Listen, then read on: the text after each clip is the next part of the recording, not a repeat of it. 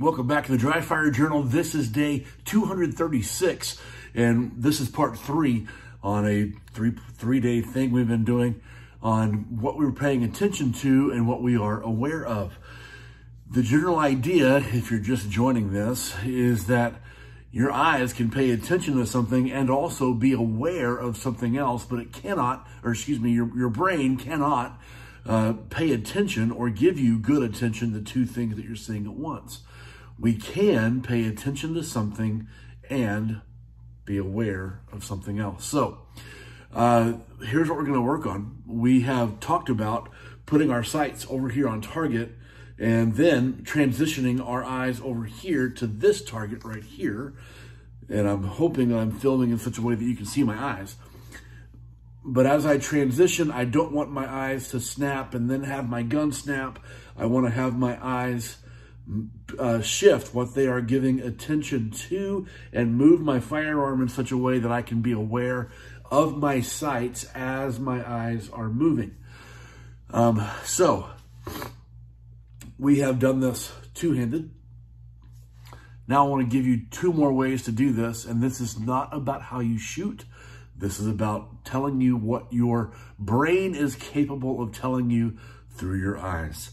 First, uh, two hands on the gun and transition left to right. Transition right to left. Transition high to low, excuse me, low to high. And then transition high to low, and then go at diagonals.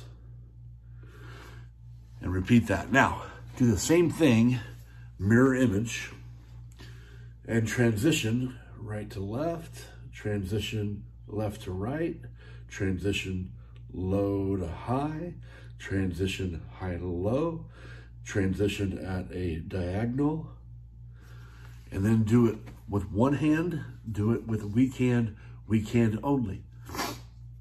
Pardon my morning stuff. Uh, excuse me.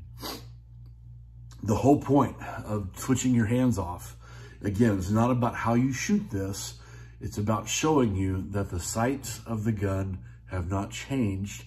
And even when the sights are traveling with a little bit less stability because you switched hands, because you're going weak hand only, uh, they don't have to be super smooth for you to be able to be aware of them and where they are in space as they are traveling, trailing your eyes um, all the way to target.